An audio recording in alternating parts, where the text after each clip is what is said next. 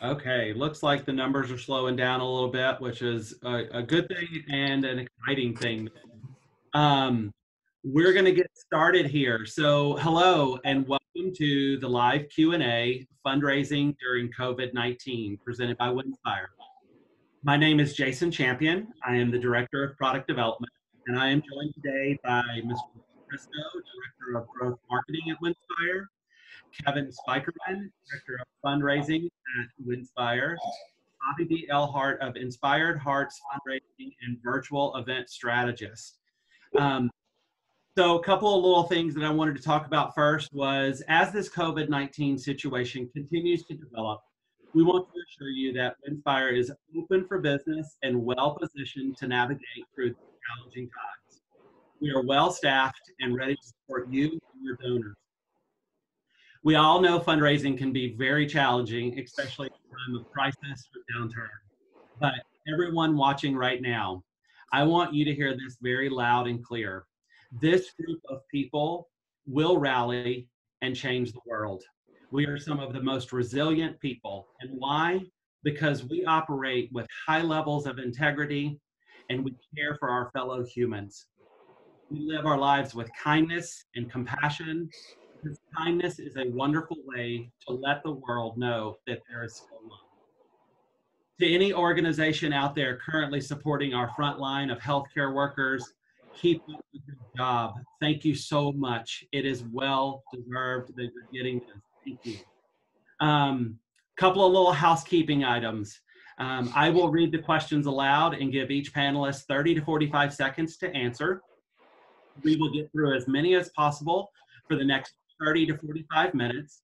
And of course, if we can't get to your questions, our emails and phone numbers will be posted in the recording with a follow-up email. Please feel free to reach out.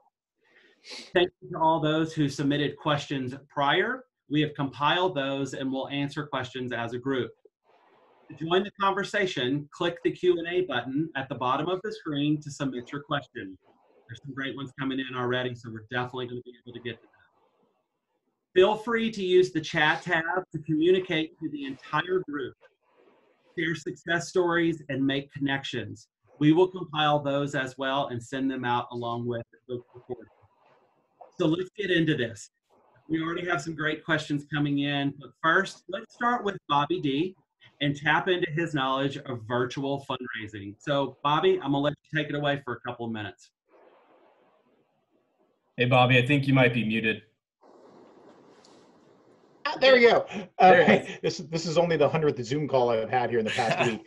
Um, well, where I mean, where I came from was hundred percent in the live event space. You know, I, I, am a fundraising auctioneer, a fundraising conductor, a fundraising event strategist, and literally the rug has been pulled out from underneath my my feet and it's like what what what now i mean i had over 30 events you know postponed from late march all the way now in the middle of may even some june events are are pushing off so it's like I've had the conversations with my my my my clients and so many nonprofits that are out there. It's like, oh my gosh, now what? What are we going to do in this what we call new normal? And and how do we you know how do we continue to have events? I mean, yes, live events are still going to happen, but what are we going to do in that time frame? I know there's some groups that are out there that need this funding rely on those events to continue to keep the doors open and to have uh, the programs uh, available for for those i mean especially in this day more than ever.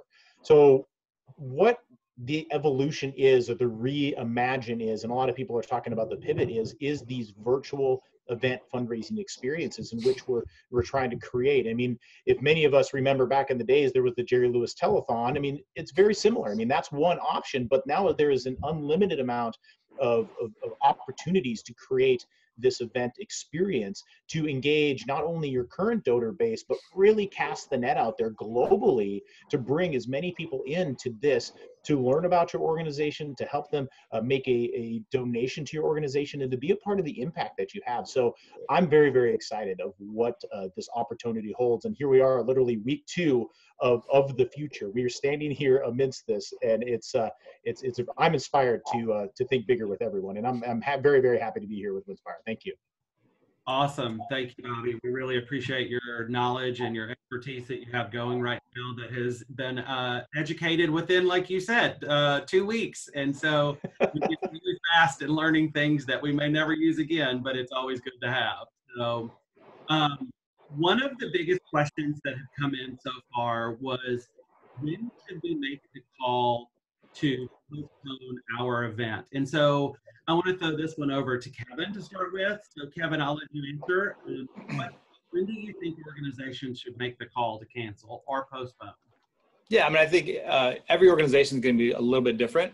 Um, and you know, Bobby D, you and I, we spoke earlier this week, um, another Zoom chat, um, just about what that looks like. And I really think that you know, talking to the the board, the organization, and even their professional uh, support. You know, like I mean, if I was working with Bobby D, and he was my auctioneer, I'd be talking to him right now, saying, Bobby, what would you think we should do? Um, you know, there, you know, looks like people are, you know, polls are out there that August, September for actual physical events, people are kind of pushing out that far. Um, but as Bobby D said, I mean, people need funding right now. And so what are, what are the choices that they can do? And those virtual events are, are a great way to do it. Online auctions, um, there's a lot of ways that you can still get the word out there without having people in a physical space. So um, it really depends depends on your needs as an organization. If the needs are we need funding tomorrow, we can't let our event go another four or five months. Then you know what? Let's talk to Bobby D and let's talk to to Winspire and let's let's set up a virtual auction. Um, if you can push it off and you really want to have that physical event where people are you know in a room, you know August, September, October. I mean, a lot of events I saw uh, coming in for December. Um, just obviously venue space is going to be an issue for October, November. So um, you're really pushing it out to whatever your needs are immediately and addressing those. And if, if you can push it off and you really want to have that physical event, September, October. I mean, Bobby, is that something you would you would recommend or you you would be in line with? Absolutely, and and I'm suggesting getting to the pump sooner than later because what's going to happen as we get into that November December, uh, there's mm-hmm. going to be a lot of donor fatigue and a lot of event fatigue uh, that that you know people are just going to be burnt out or their mm-hmm. wallets are going to be burnt out. There there's not going to be anything left in them. So you, you have to look at of, of how you're going to position that postponed event, you know, in competition with all of the other mm-hmm. events that are going to be going on. So so how could you you know position yourself within that live event? But then that's where the virtual event can come in and and fill that gap uh, and add in a additional you know form of revenue but it's really an engagement tool to bring in you know more people into your into your into your donor database. Yeah that's pretty amazing and we just had a, a question come in that do you feel like that the virtual fundraising is now going to be the wave of the future? Um, I'll say yes to that because now uh, we have a, I mean, there, there was a drastic change that happened two weeks ago. Bam the whole nonprofit fundraising market was just completely shooken. And and what what was you know is no longer going to be. So how do we think bigger than this? How do we evolve rapidly to to you know combat you know what you know what we have? I mean every person is in their home right now. And every person wants to be a part of something bigger and they want to be a part of that community. So how can you as the nonprofit reach out and and let them to be a part you know of this? So it's um it, it, it is. It's really going to change everything from this this point forward. And it's uh it's exciting. It's scary but it's really exciting. But what doesn't scare you doesn't have the biggest gains correct? Like you you have to be nervous uh, to get the biggest return on what you're trying to do. And right now yep. we are forging a new society within the nonprofit world to be ahead of everything that's out there and do it because like i said earlier we are some of the most resilient people and know how to work with others. So here's another question that just came around virtual fundraising. So is it inappropriate right now to ask for virtual sponsorship and or sell tickets to this event online? Uh, no, it's it's absolutely appropriate because everybody wants again to be a part of that community.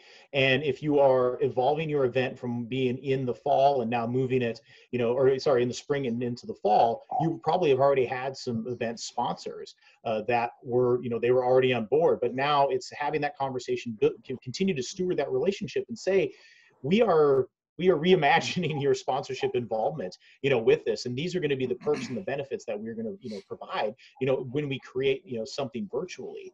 And start to think about this. Now, this does open it up to a much broader audience and is going to really create uh, more visual opportunities for those sponsors to be, you know, to be recognized and to be involved uh, with that that event that you have and what used to be a step and a repeat or somebody in the program, a logo, many people really forget them. But now we're literally a click away from wherever they, want, you know, like whomever that sponsor is. So I mean, now it's looking at the the engagement, you know, beyond the event and tracking that. There's a lot of geeky things we could really talk about, but I think it is it is a, a, a time to strike and to have those deep deep conversations with those sponsors, those potential sponsors, to show them that this is a a chance to to cast again that wider net. Yeah, Bobby, I would just I would just add to that real quick, Bobby. Um, you know, we had um, Amy uh, yesterday submit a question from Michigan about a high school scholarship uh, program that you know she's like I don't know how to ask when you know the city is just getting obliterated. Um, but I think, as you said, but it's also you need to highlight that mission statement again, and you need to get back to why you do what you do, and Yep. you know make people aren't going to give if they don't care. You know, and I think you know if people understand what your mission is, and the ask might be a little bit different you may have to you know use some examples of hey this is the impact that this organization is doing and we would love for you to be a part of that you know so i think if people understand and just get back to that root of this is our mission statement and this is the impact we're having in the community uh, people will get behind that Agreed. Yeah. Very well agree. said. Well said. Yep. Uh, Lou, do you have any comments on that? Yeah, so I worked at a, a nonprofit for about seven years in, in DC, and, and something that we would do when we were going through hard times is uh, the founder of the nonprofit would actually write like a heartfelt letter. Um, and we would send that out via email. Uh, he would actually send it out via snail mail to some people. Um, but yeah, it was, it was just very personal and heartfelt. And again, like you guys are doing what you do because it's important. So you need to just feel comfortable relaying that to everyone and remind them where their money's going, why it's important, why you do what you do. Um, and I know you're already doing that day by day, right? That's that's what of what you do at a nonprofit. Um, but continue to do that and don't be afraid to be fully transparent, right? The need is there. Express that need. Yeah, I think that is a, a key message to run into because one of the other questions that have come in yesterday and today that I'm seeing as a, as a normal trend of is it insensitive um, right now to reach out to your past donors and your communication um, with them? Um, my my answer is simple. It's it is it's not insensitive.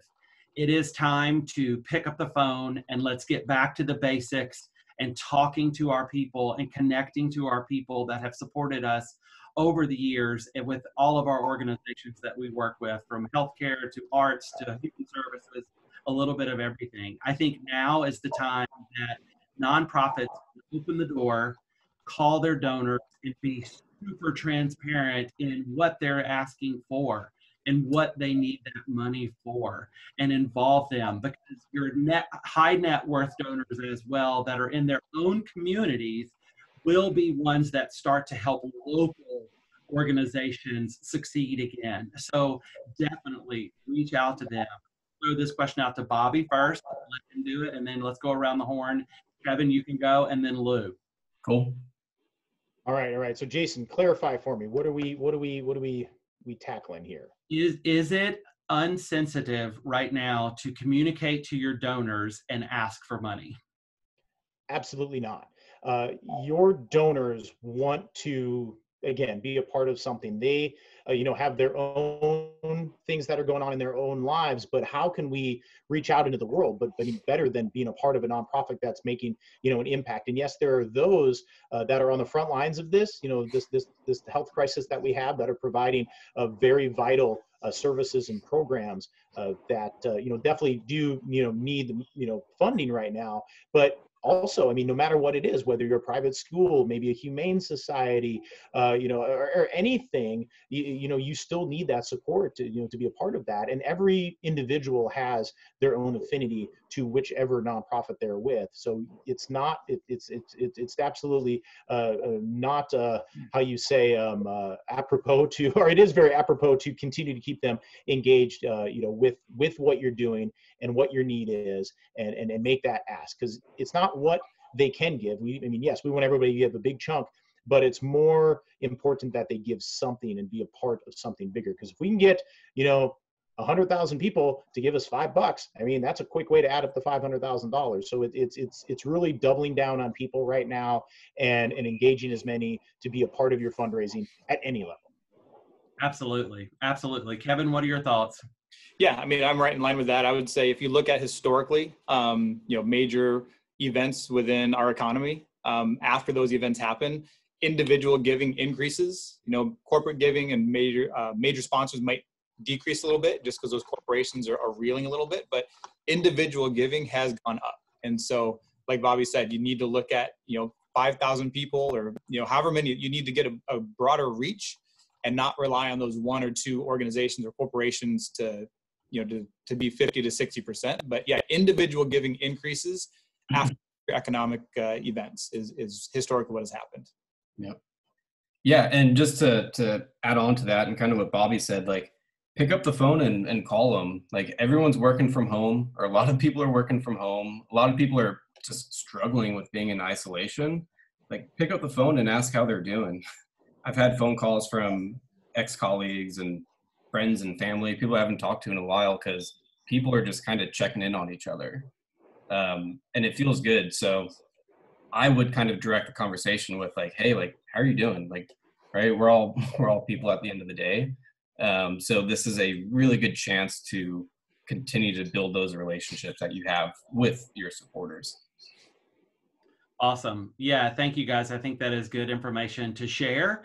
Um, so Bobby D, I'm gonna throw one question over to you, uh, and I know you've got to run and jump on others. So this one is gonna take you off guard a little bit. It was posted by an anonymous an attendee that says, "What is the auctioneer's role in a virtual fundraiser?" That is a fantastic question, and I had this conversation with my my partner last night. Um, Erin, she's an amazing auctioneer. She's been doing this just as long as I've been together. She's the co-founder of Inspire Hearts, and we were watching a virtual gala last night. It was one of our colleagues. He did an amazing job, and we started to think about. I mean, nonprofits are going to have this tool at their hand. I mean, they can broadcast everywhere. And it's so important to have whomever that person is that's in front of that camera that is speaking directly to your audience. They need to know your mission. They need to know how to fundraise and they know how, need to know how to be appropriate because all of a sudden you're giving this broadcasting tool and i mean love the guy but i mean they have a huge opportunity to steve harvey something and all of a sudden now that goes viral and your organization is tied into that um, that's not a reputation I want to I, I want to say you know put uh, you know put on the line to gamble. So that's where a, your your professional fundraising auctioneer can play a very pivotal point uh, within that. What I'm trying to do, and, and Erin and I are trying to do with Inspire Hearts, is really be the connector of all of these things, you know, with the mobile giving technologies, with the studios, with the AV companies that are truly producing that, um, with you, the consignment companies, you know, which items are appropriate, what are the methods, you know, can we utilize to maximize, you know, the fundraising, you know, within, within all of this. So really being that connector point, but then also helping to tell that story to inspire the donors and then make that call to action and keep keep that that that experience engaging keep it fun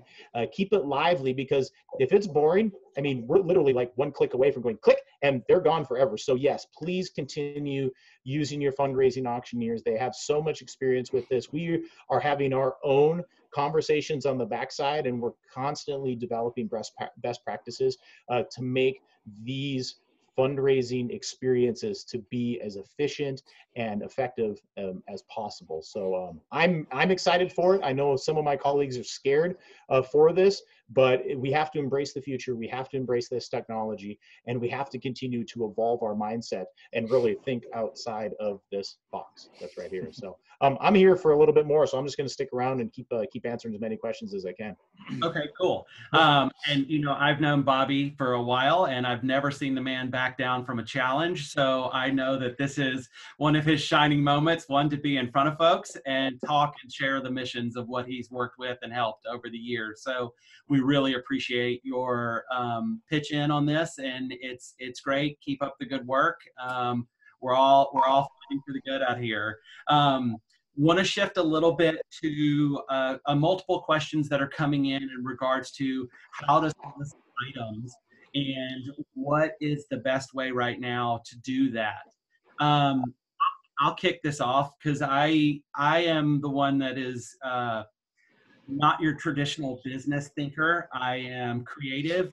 Um, I want to share fun things to do uh, with nonprofits that they can work with vendors to continue to secure donations. Is one of the things that we came up with is that reach out to these restaurants and stuff that have uh, donated to you before um, and set times to where if you do have an auction item that from them, maybe change it around in that you've got a Saturday morning that the restaurant wasn't open, but the chef can cook breakfast for, you know, 10 people to come in socially distanced and sit in the restaurant, but you're obviously bringing business back at vendor. You're helping them continue to support what they're doing and what their passions are. So this is the time to get creative reach out to everything. I saw something really fun on a virtual fundraiser the other night that the fire department was allowing um, uh, someone to come in and they were the firemen were going to cook for 10 people uh, and they were going to serve in between all the fire trucks um, which was just a great way to get people back into bringing in uh, their local communities um, question, you know, Lou, how do you see people right now soliciting um, fund donations during this time for their silent live auction? Yeah, uh, that's a great question, and like I, I understand completely that it's like you may feel somewhat insensitive asking right local restaurants for donations or whatever these sponsorship requests are. Um, but it all goes back to expressing the need that you have as an organization and being transparent. Um, you need to continue to have those conversations just like you would have done in January before everything kind of hit the fan. Um, be transparent. Just my biggest thing is let people know exactly what the need is. Um, one thing, so I worked for a, a nonprofit organization, and our mission was to support the safety and success of U.S. troops overseas.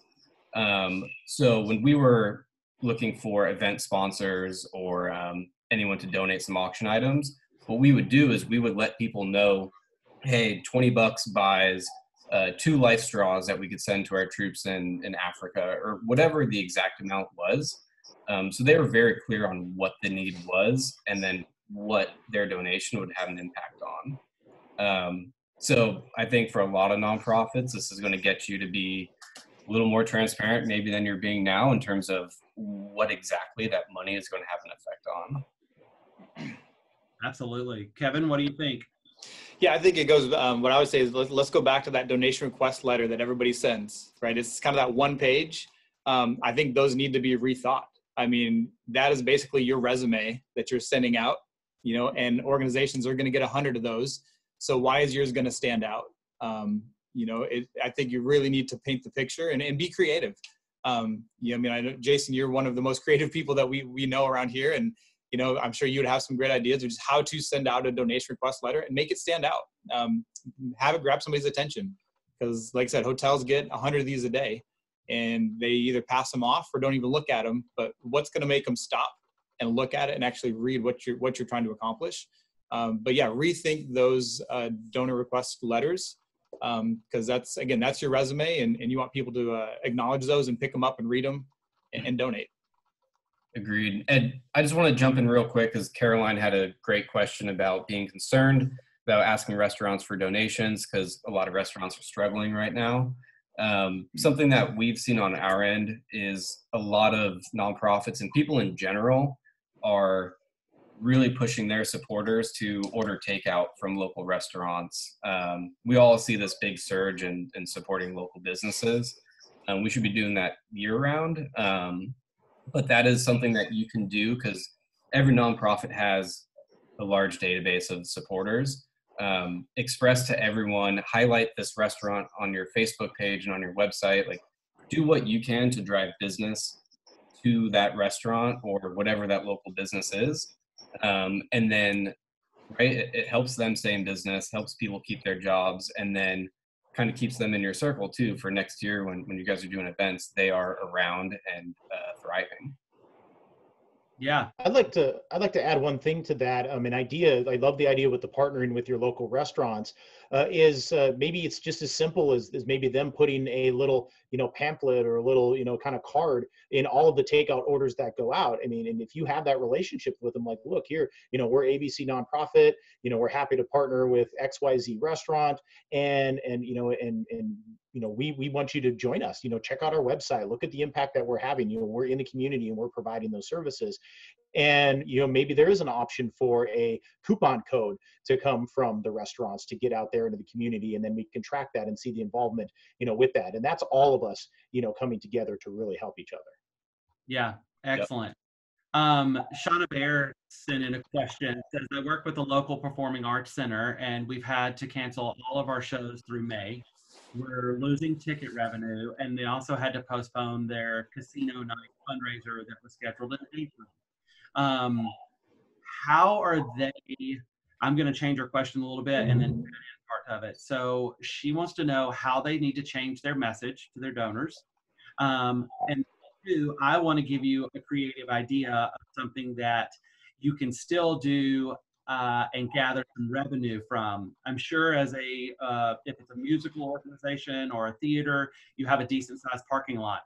Let's do a drive up concert uh, have 20 cars that come in and pay five dollars a piece, and you've got a string string string quartet five socially distanced players that you can sit and hear music for an hour. Um, I'm going to get funny here and get creative. I've got a, a, really good friend of mine that lives in Denver that is a female impersonator drag show, and they are doing driveway performance uh, right now. So ride by, watch a number, and head on. People are looking for entertainment. So think of getting out of your box of a performance studio to going outside.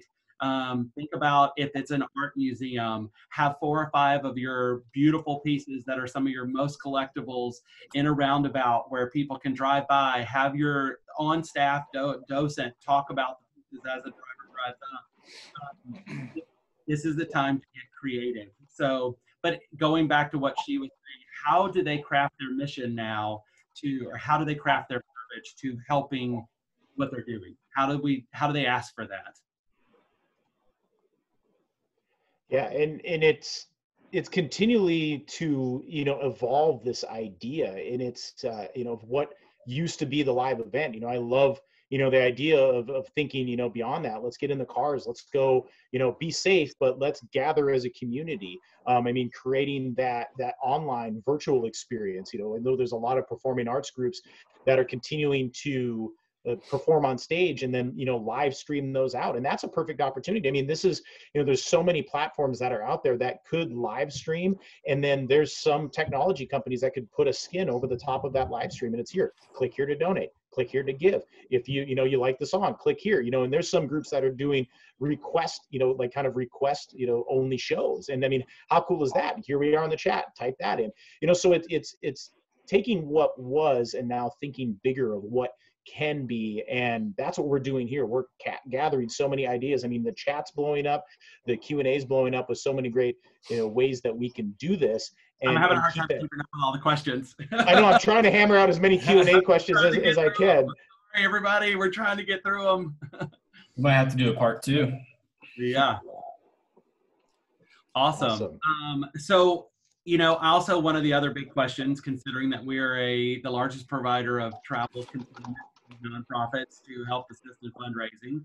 Um, will people purchase travel in their auctions? Uh, Kevin, I'll let you start with this one.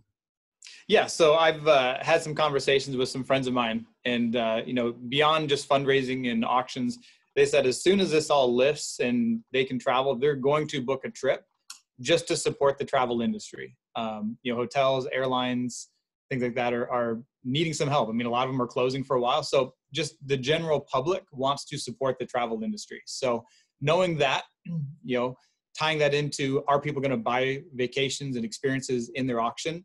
Um, I think if the bidder or the, the potential donor um, has the availability to book within a certain time frame, um, they're going to have that ease of like, I can bid on this. It's going to be a great experience. I want to support the travel industry. I want to support the organization.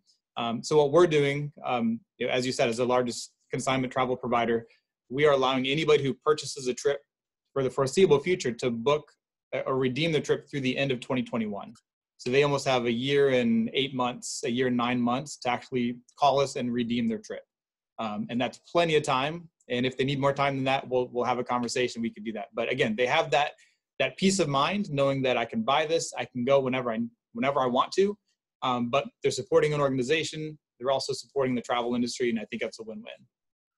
Yeah, and just remember this as well. Uh, we'll probably all be able to fly first class pretty cheap back and forth to whatever destination that you're looking for. So it's you know let's help those that have helped us, um, and we can do that. And so that it's just yeah, cheap airline tickets coming. And I'm getting questions right now specifically because I'm director of product. You know, what are we doing to address that crisis? Uh, currently, I am working with almost 200 vendors to secure what we're looking for for the future.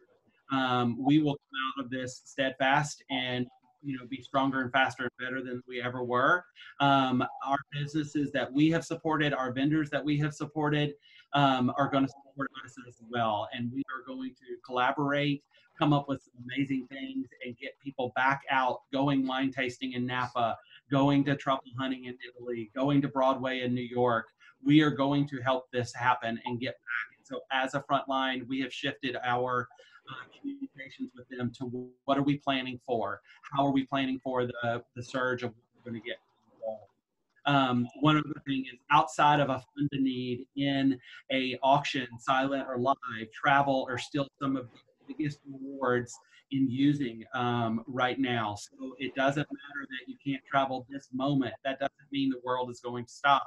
We are going to travel. We are going to get out there and they are some of your biggest revenue items. People know right now. They're going to book it when they can book it and they're fine with that. Um, bobby have you seen in some of these virtual events lately any travel that's selling yeah, it, has been selling great. I mean, because the world will travel again, and we are all going to need an amazing vacation after this. I mean, only two weeks in, and like I can't wait to get out and get my toes in the sand again and get some sunshine on my face or whatever it is going to be. So th- that craving uh, is is is always there, and we see them are, are, are, selling amazingly. They're you know they're the high demand is high, the prices continue to go up.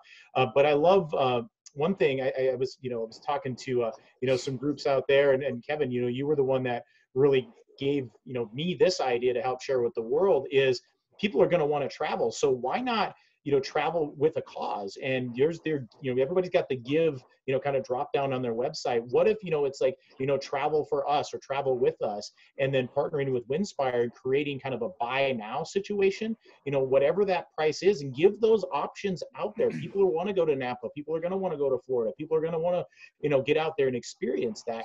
And then just let those, you know, your donors purchase that package and and winspire makes it so easy to do that and that can just live on there all the time because people are going to want to travel. So let's help them set up their travel and have those best experiences possible and why not raise some money in in the meantime? I mean that's a win-win-win if i've ever seen one. Absolutely. Absolutely. Uh lou do you got anything you want to share with that? No i just i agree with what everyone said right? Like we're all i think excited for like human interaction again after just the self isolation. so like, I'm supposed to go to the Taylor Swift concert with my wife in June or July, and like, like for us, like we just got those tickets now because we're trying to just get out of the house as soon as we can. Um, so yeah, I agree. And just from donors and and nonprofits I've spoken with in the past couple days, people are still buying travel and auction because everyone has the same sentiment. They're ready. They're they're dreaming right now at home because they're trying to figure out what to do next. Yeah, absolutely. I must say the the office is a little a little uh little bare. I'm waiting for you to come back. yeah, we'll see you soon. he is only social distancing himself. Uh, he has two young kids at home and didn't want the CNN reporter with the young child come in the background. So we, we sent him to the office, which is walking distance. So he's good. He's good. Yep. Um, he's all safe because there was a comment that everybody was at home except for Kevin. yep. Yeah, we are safe. They're safe. Well, good. Well, guys, you know we're approaching 40 minutes. I um, will be will be sending out this recording, of course, um, to everybody. And any questions that we didn't get to, we will answer those as quickly as possible and get them out to you guys. But this probably will be a routine thing that we'll start doing these just to check in with everybody. So if you have any last uh, minute sentiments, guys, please share. You can go around the horn. Let's start with you, Lou. Yep. So I'll just kind of fire off a few things that I want to talk about. Um, this is a great time to pull in monthly donations and recurring donors. Um, a lot of people have Hulu, Netflix, all these subscriptions. Um, for them to, to donate 20, 30, $40 a month, um, it's really great steady income for the nonprofit. And um, most of the time, monthly donors do single donations as well on top of what they're doing monthly. Um, so keep that in mind. Uh, if you have a platform to do that uh, on your website, that's great. It makes it easy. Um, so definitely push monthly donors. Um, I see a lot of people getting super creative in the chat.